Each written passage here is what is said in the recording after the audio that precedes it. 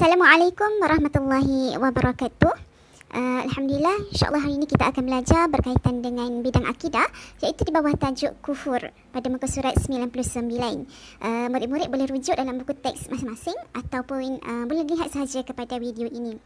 Okay. Dalam muka surat 99, uh, kamu dapat lihat uh, seorang khatib iaitu khatib ni maksudnya uh, orang yang membaca khutbah yang mana uh, beliau menyatakan dekat situ kamu boleh tengok dia kata uh, sidang jemaah sekalian saya berpesan agar bertakwa kepada Allah Subhanahu Wa Taala dengan sebenar-benarnya dan janganlah kamu mati melainkan dalam Islam.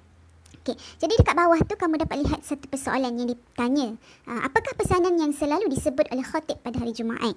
Uh, apa pesanan uh, yang utama dalam dialog tadi? Apa? Ya betul. Di mana khatib tu berpesan kepada kita uh, yang pertama bertakwa kepada Allah dan jangan kamu mati melainkan dalam Islam. Uh, itu pesanan yang sangat penting untuk kita ambil uh, tahu. Jadi apakah pengertian kufur? Itu tajuk kita pada hari ini. Okey. Kufur ini bermaksud uh, kamu lihat pada nombor Uh, nombor satu tu dia tanya Ustaz, apakah yang dimaksudkan dengan mati melainkan dalam Islam? Okey, jadi Ustaz terjawab maksudnya ialah mati dalam keadaan beragama Islam dan tidak kufur. Uh, jadi apa sebenarnya kufur? Kufur ni maksudnya uh, seseorang yang dalam keadaan dia tak percaya. Uh, dia tak percaya bahawasanya uh, Allah SWT tu Tuhan dia dan Nabi Muhammad SAW tu adalah uh, pesuruh uh, Rasul dia tak percaya. Dalam keadaan dia tak percaya dia tak beriman. Sebab kita kena faham uh, kita pernah belajar juga sebelum ni iman tu maksudnya yakin dan percaya. Tapi orang yang gofar ni dia seorang yang tak yakin dan juga dia tak percaya bahawasanya Allah itu Tuhan dia dan dia tak percaya.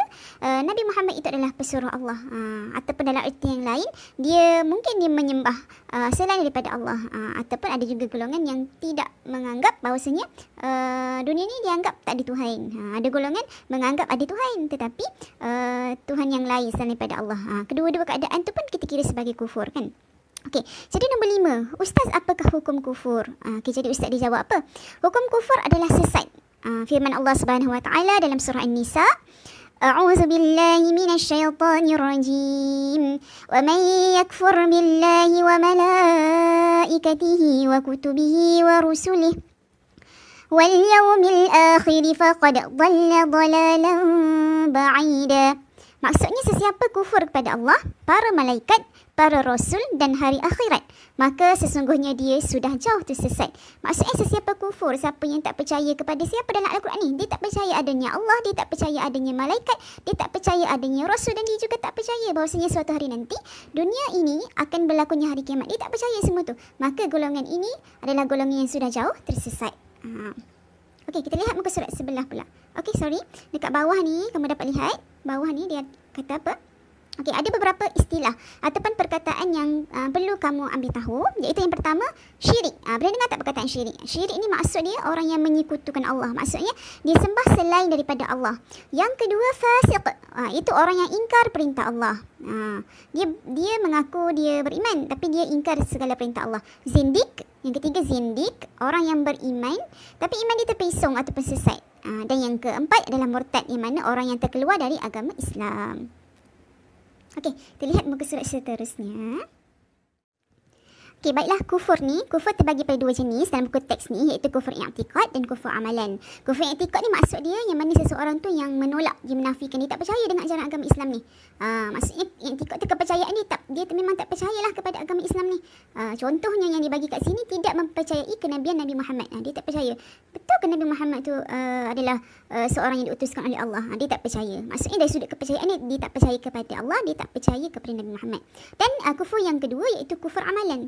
Yang mana kufur amalan ni, uh, dia menggunakan nikmat kurniaan Allah dengan cara yang salah dan berdosa. Uh, Allah bagi kepada dia contohnya kat sini dia bagi duit. Allah jadikan dia seorang yang kaya.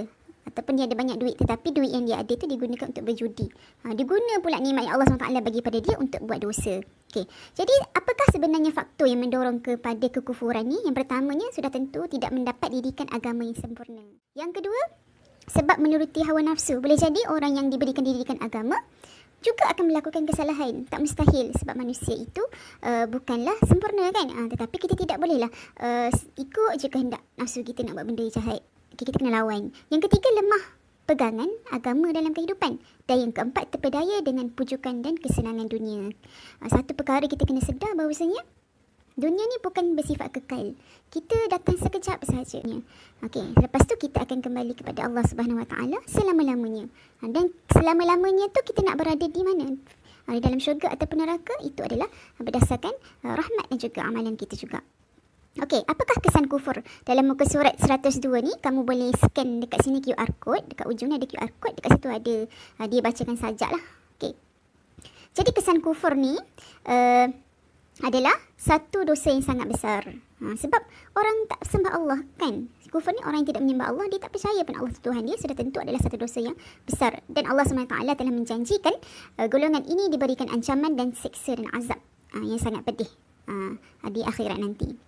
Dan akan merosakkan iman uh, dan juga uh, menghilangkan rasa rahmat dan ketenangan hati. Uh, maksudnya orang yang uh, hidup bukan menyembah Allah, ha, hati dia mungkin sentiasa berada dalam keadaan resah dan gelisah sebab tak kenal kan. Walaupun mungkin dia seorang yang kaya, seorang yang berjaya tetapi um, kebiasaannya orang-orang yang dalam keadaan kufur ini, mereka ini hati mereka tidak tenang ha, dan sudah tentu kemakhirannya dijanjikan azab yang uh, sangat pedih di dalam uh, api neraka nanti. Seterusnya, apakah tindakan untuk kita jauhi kufur? Yang pertama, kita jaga amal dan ibadah kita supaya kita kuat lah. Ha, kalau iman kita kuat, insyaAllah Allah SWT akan pelihara kita. Kita selalu berdoa lah, Ya Allah, peliharalah uh, iman aku kan. Kita berdoa dan memohon untuk dimantapkan iman. Ya muqallibal qulub, sabit qalbi ala dinika. Wahai yang membolak balikkan hati, tetapkan, tetapkan hatiku dalam agamamu. Okey, yang ketiga sentiasa menambahkan ilmu pengetahuan. Kita kena sentiasa top up. Ha, biasa kan top up kredit phone je kan. Ha, tapi kita kena top up apa? Ilmu pengetahuan. Dan kita belajar tentang Islam ni eh, tiada penghujung. Ha, walaupun sampai sampai akhir ayat kita.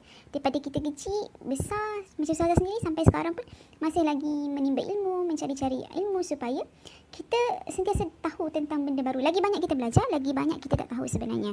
Okey. Dan juga yang keempat, mengawal diri dari mengikuti hawa nafsu. Sebab hawa nafsu kita ni sentiasa cenderung kepada perkara yang Allah tak suka. Ha, kita suka apa contohnya? Kita suka main TikTok kan? Okey, TikTok ada kebaikan dia. Tapi kadang-kadang tu TikTok tu dia cenderung kepada hawa nafsu yang buruk. Contohnya dalam TikTok ada belajar tentang agama. Benda baik, bagus, Alhamdulillah. Tetapi dalam TikTok juga contohnya ada... Uh, perkara-perkara yang melalaikan uh, joget-joget dan sebagainya kan biasanya jiwa kamu yang muda suka pada benda-benda macam tu uh, dan benda tu salah ke betul? Ha, kamu boleh fikir kan benda tu salah ke tak salah kita boleh fikir sendiri. Okey, itu saja untuk hari ini. Uh, jadi kalau kamu ada sebarang persoalan, kamu boleh WhatsApp dalam grup kelas dan uh, jangan lupa siapkan uh, kerja dalam buku aktiviti. Itu saja untuk hari ini. Assalamualaikum warahmatullahi wabarakatuh.